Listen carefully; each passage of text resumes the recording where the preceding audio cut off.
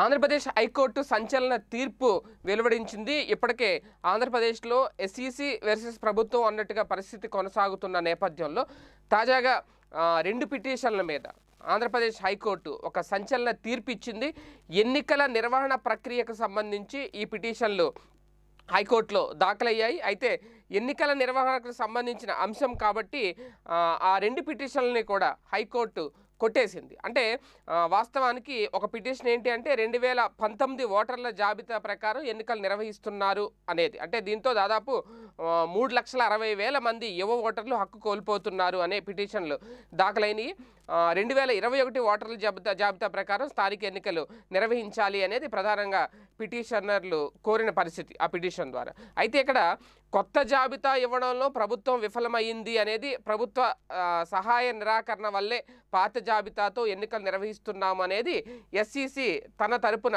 వాదనలు వినిపించింది. హైకోర్టులో ఈ నేపథ్యంలో ఎన్నికల నిర్వహణ ప్రక్రియ ప్రారంభం అయిపోయిన తర్వాత ఎందుకంటే గతంలోనే చెప్పు చెప్పిన పరిస్థితి ఎస్ఈసి కూడా హైకోర్టుకి. ఒకసారి ఎన్నికల ప్రక్రియ మొదలుపెట్టిన తర్వాత హైకోర్టు జోక్యం చేసుకోవడం సరైనది సరైంది కాదు అనేది. సో ఇప్పుడు కూడా ప్రస్తుతం హైకోర్టు అదే చెప్పింది.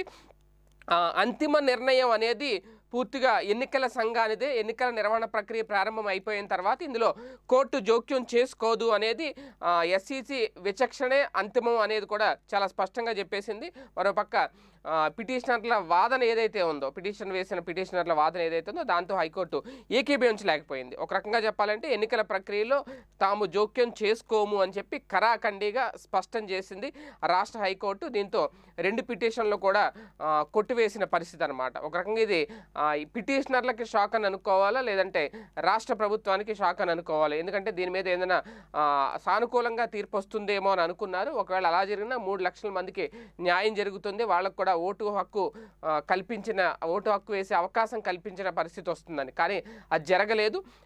అంతిమ నిర్ణయం ఎన్నికల సంఘాన్ని దాన్ని తేల్చెప్పాడు రెండు పిటిషన్లో కొట్టాడు. ఒక రకంగా ప్రభుత్వానికి ఇది షాక్ అనే అంటున్నారు కొంతమంది రాజకీయ విశ్లేషకులు.